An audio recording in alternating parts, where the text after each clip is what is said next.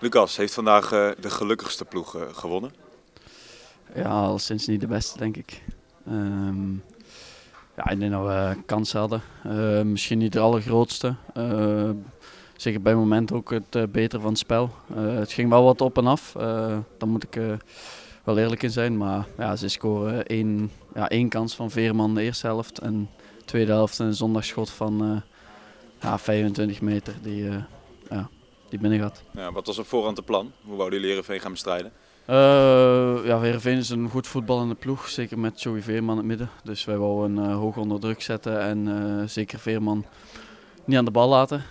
ik denk dat dat redelijk goed gelukt is op een paar situaties na.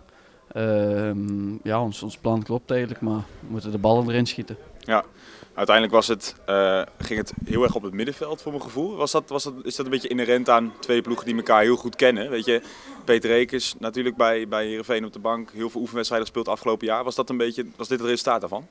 Goh, ik denk vooral twee teams die heel erg aan elkaar gewaard zijn qua, qua niveau. Um, ik denk dat er niet veel verschil op zit. Uh, dus dan krijg je ja, zo'n uh, zo'n wedstrijd waarvan uh, het moeilijk is om langs beide kanten erdoor te komen. En vooral op middenveld moet gebikkeld worden. Ja, uiteindelijk ga je met 0-0 de rust in. Wat was het verhaal in de kleedkamer? Ja, op zich dat was redelijk goed. we stonden redelijk goed. Zoals ik zeg, de ene kans die we weggeven en nog een paar momentjes dat we het wel op tijd terecht zetten. Um, ja, en voor de rest moesten we gewoon uh, doordoen zoals we bezig waren. We hebben die kans van Nico gehad. Nog een paar momenten dat Kai kon schieten. wat wat afgeblokt. Um, dus ja, tweede helft gewoon verder doen. En we zien met die kans van Nico nog wel wat ja, mogelijkheden. Niet echt kansen gehad, vond ik. Uh, moet ook gewoon beter uitspelen. Hoe, hoe, lastig is het om daar een balans in te vinden in enerzijds toch die goal willen maken. Maar je weet ook, twee gelijkwaardige ploegen, hij kan ook aan de andere kant vallen. Was dat ook een beetje een dilemma binnen het veld? Goh, nee, ja. Uh, ik vond de eerste helft dat het soms een beetje onrustig was. Op en neer, een beetje tennis. Uh, daar hadden wij wat rustiger in moeten zijn. Maar de tweede helft denk ik dat we dat beter hebben gedaan. Maar zoals ik zeg, moet je het ja, beter uitspelen.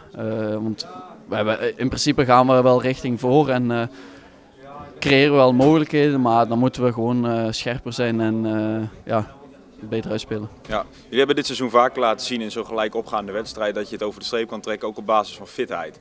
Is dat denk je vandaag in die zin doorslaggevend geweest dat jullie misschien drukke week, woensdag uiteraard Feyenoord gehad, dat dat lastiger ging? Uh, het maakt zeker een verschil.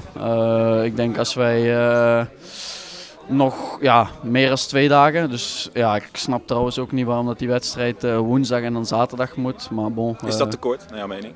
Ja, als je maar twee wedstrijden moet inplannen in, in het weekend, dan is het niet zo heel moeilijk om deze wedstrijd even naar zondag te zetten om het wat eerlijker te maken. Ehm, maar ja, wij zijn Herakles, niet Ajax of PSV. Dus ja, daar moeten we het mee doen en we hebben ons zo goed mogelijk voorbereid. Ehm, maar het kan een verschil hebben gemaakt. Ik zeg niet dat daaraan ligt, maar het zou kunnen. Hoe, uh, hoe ga je het omdraaien nu als, als ploeg? Weet je, het, het, het, voetbal is op zich goed, maar uiteindelijk de doelpunten blijven uit. Wat, ja, het is denk ik lastig te analyseren zo kort naar de wedstrijd. Maar... Ja, uh, ik weet het zelf niet. Uh, voor het moment uh, ben heel teleurgesteld.